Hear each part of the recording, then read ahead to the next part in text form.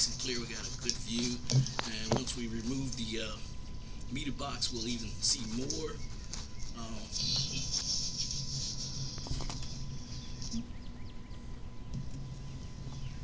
okay, now it's time to uh, remove the meter box.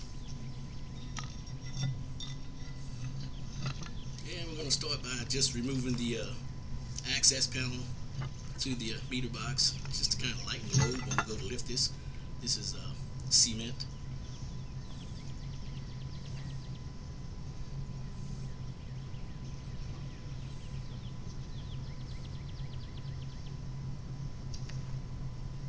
Okay, now we have that out the way. We have uh, good access to the uh, meters themselves and the uh, attachments that we need to uh, change out. I'm not a big fan of uh, PVC piping uh, as far as water service, but uh, I do have to say that this uh, PVC pipe has been here for, wow, I guess over 20 something odd years, and uh, I'm amazed how well it held up. So I could be wrong, I don't know, but I'm going to uh, change this out with uh, PEX piping, which I think will be a little more durable.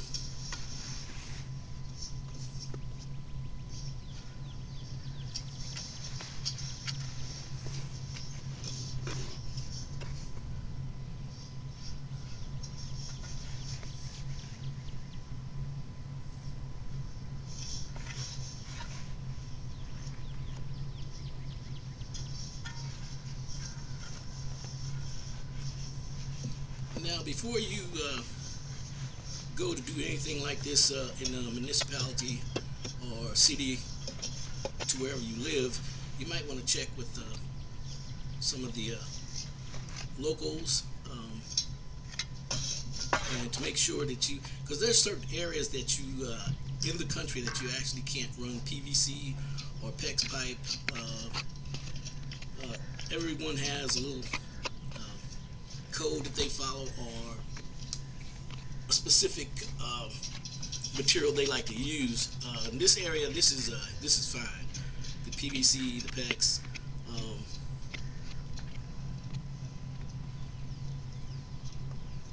and you will see some that's been galvanized. You definitely want to take that out, definitely. And then we have random to uh, where the they required copper piping from the uh, meter to the house, uh, which would be uh, L copper.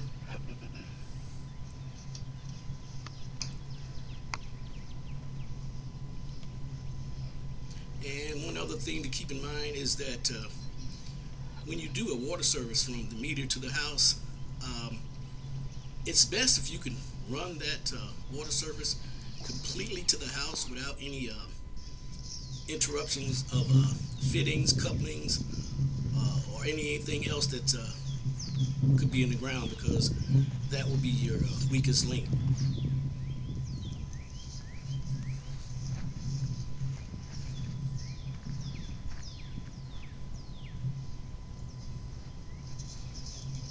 Well, dug up a small portion there.